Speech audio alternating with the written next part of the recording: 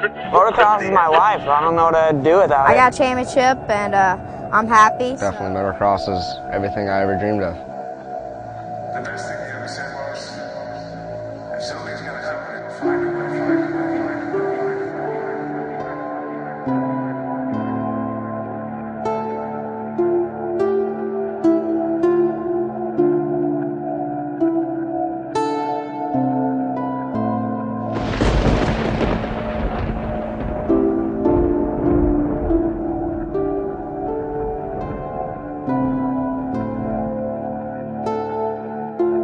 You gotta train like crazy. I mean, it's 120 degrees out there, 100% humidity. And there's guys that literally pass out in the middle of a moto. Seven days a week, working out, training, riding hard, putting yourself to the test and the limit on the track. It feels like you're on top of the world.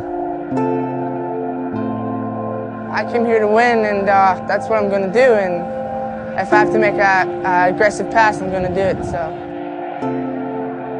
It's like what everybody's been waiting for all year to show sponsors, you know, get rides.